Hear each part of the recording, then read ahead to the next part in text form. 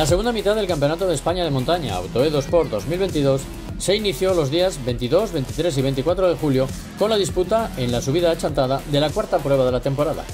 La competición gallega tuvo lugar con altas temperaturas en el espectacular trazado de la Ribeira Sacralucense. El ganador absoluto y en la categoría 2 fue Joseba Iraola. En su retorno a una prueba del Nacional, el piloto vasco dominó de principio a fin con su Nova NP02, marcando el mejor crono en todas las mangas. Iraola tomó ventaja el sábado cuando batió en más de un segundo el récord del trazado. El domingo, Joseba volvió a ser el más rápido en las dos restantes mangas de carrera, logrando además tiempos cada vez mejores para acabar certificando su victoria absoluta y en la categoría 2 con un registro de 1.42.794, nueva plusmarca del recorrido de 4.300 metros de la subida achantada. Creo que ha sido un buen fin de semana para todos, no ha habido ningún problema de nada que, que siempre cuesta, ¿no? Con el calor que hacía y, todo lo rápido que se iba, es una suerte poder acabar con la barqueta entera y, con unos grandes tiempos que, te, hacen, te hacen sumar y seguir.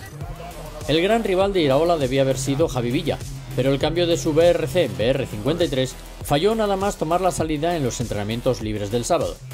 Aunque su equipo logró sustituir la mecánica a tiempo de que participara en la manga de carrera que cerraba la jornada, un problema en la admisión le impidió completar la subida. Al día siguiente Villa marcó el segundo mejor tiempo en la segunda oficial, pero volvió a sufrir problemas en la última, lo que le relegó finalmente al tercer puesto en la general y en la categoría 2. Por delante de Villa en ambas clasificaciones acabó su compañero de equipo Gonzalo Díaz con otro BRC BR53. El piloto de Arriondas ya se había situado en la segunda posición al término de la jornada del sábado, y aunque el domingo no pudo reeditar los tiempos de la víspera, acabó manteniendo el segundo puesto absoluto y de la categoría 2. Con el resultado de Chantada, Gonzalo recorta distancias en el campeonato de la categoría 2, en el que Villa sigue líder, ahora con 8 puntos de ventaja en lugar de los 12 a su favor con los que había llegado a la prueba gallega. Lejos del trío de cabeza de la categoría 2, el cuarto puesto fue para Damián Verdera, que consolidó su liderato de la clase 8 tras ganarla con su Talex. En la categoría 3, Mario Senjo se impuso por segunda vez en lo que va de temporada. El piloto cántabro del Silver Car S3 fue el más rápido de los CM Promoción en las tres subidas de carrera del fin de semana. En la del sábado, cuando los cinco primeros de la categoría terminaron en apenas 8 décimas de segundo, fue el único que logró bajar de 1.58 y tomó casi medio segundo de ventaja. En las dos del domingo, mientras algunos de sus rivales llegaban al 1.57, Asenjo rodaba ya en 1.56, registros que le otorgaban la victoria en la suma de tiempos por algo más de un segundo. Una subida súper bonita y luego sobre todo hemos disfrutado mucho de, de estas maravillosas vistas. Y nada, respecto a la carrera estoy muy contento, hemos logrado un gran ritmo, hemos ganado la carrera con un segundo en, en, en, el resultado final respecto al segundo, así que nada, muy contentos, con ganas de ir a Totana. El segundo puesto en la categoría 3 fue para Benito Pérez. El piloto asturiano del BRC B49 había terminado la jornada del sábado en la cuarta posición, pero el domingo conseguía remontar hasta la segunda, para mantenerse al frente de la general del certamen, aunque ahora comparte el liderato con Asenjo. Al igual que en las tres anteriores pruebas de este año, Javi Rodríguez acompañó en el podio a Mario Asenjo y Benito Pérez. El tinerfeño del BRC B49 era segundo al término de la primera oficial, pero cedió terreno el domingo aunque finalmente logró mantener la tercera posición pese al ataque de Tony Arrufat. El catalán del Silvercar S3 logró el segundo mejor tiempo en la última subida de carrera, para remontar hasta el cuarto lugar en el cómputo total, a menos de tres décimas del podio y algo más de una décima por delante de Edgar Montellá, quinto con otro Silvercar. En la categoría 1, la ausencia a última hora de Fombona parecía dejar totalmente abierto el camino hacia la victoria a Gerard de la Casa. Sin embargo, el andorrano estuvo a punto de perder toda opción en la manga de carrera del sábado, cuando un toque en la parte inicial del trazado le impidió alcanzar la meta. El domingo, una vez reparados los daños sufridos en su Ford Fiesta, De la Casa acabó confirmando el pronóstico, siendo el más rápido en las dos restantes subidas oficiales para sumar su primera victoria de la temporada.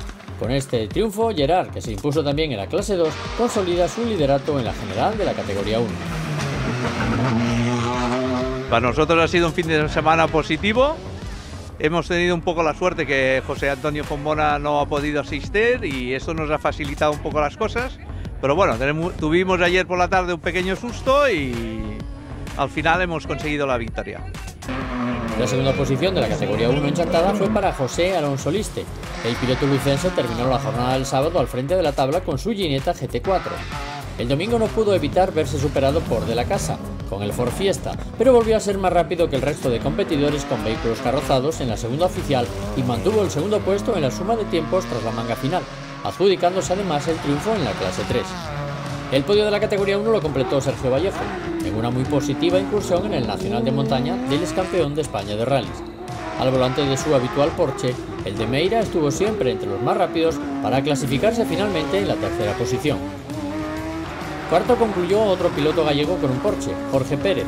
Tras haber sido tercero en la manga de carrera del sábado, el Vigues sufrió un toque en la segunda oficial, pero logró el cuarto mejor crono en la última y acabó en esa misma posición en el cómputo total. Quinto de la categoría 1 fue Francisco Jiménez, que reaparecía tras superar un problema de salud que le impidió competir en la primera mitad de la temporada. El piloto cordobés consiguió la victoria en la clase 4 con su Mitsubishi por delante del líder de la misma, el catalán Xavi de la Vega, sexto de la general de carrozados con su Seat León. En las restantes clases de la categoría 1, los ganadores fueron en la 5B el local Eduardo Domínguez con su Citroën AX, en la 6, otro piloto de la zona, Manuel López con su Ford Sierra. En la 5A, el compostelano Luis Penido con su Mini. Y en la 5C, el murciano José Antonio Sánchez con su BMW. Tras la disputa de la subida chantada, el Campeonato de España de Montaña Autoedo Sport se tomará una pausa en el mes de agosto antes de encarar su sprint final con las subidas de la Santa en septiembre y de la isla de Ibiza en octubre.